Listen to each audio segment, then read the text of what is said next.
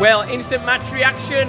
We're all smiles today, aren't we? We are indeed. Con, con with two, Earing with one.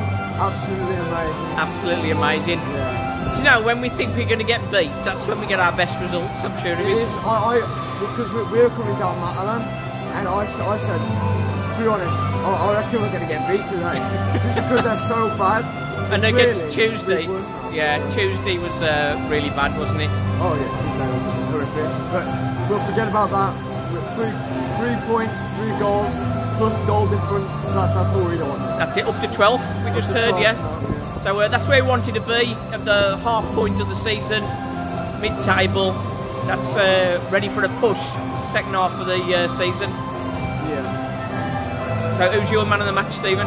It's got to be Khan, to be honest. Gotta be Khan. This, the assists, the balls in, the goals, got to be Khan. We said before, we said before the game, didn't we, that Khan had sort of uh, really needed to sort of show us what he could do, and Yeah, uh, definitely. he certainly did that today, didn't he? Yeah.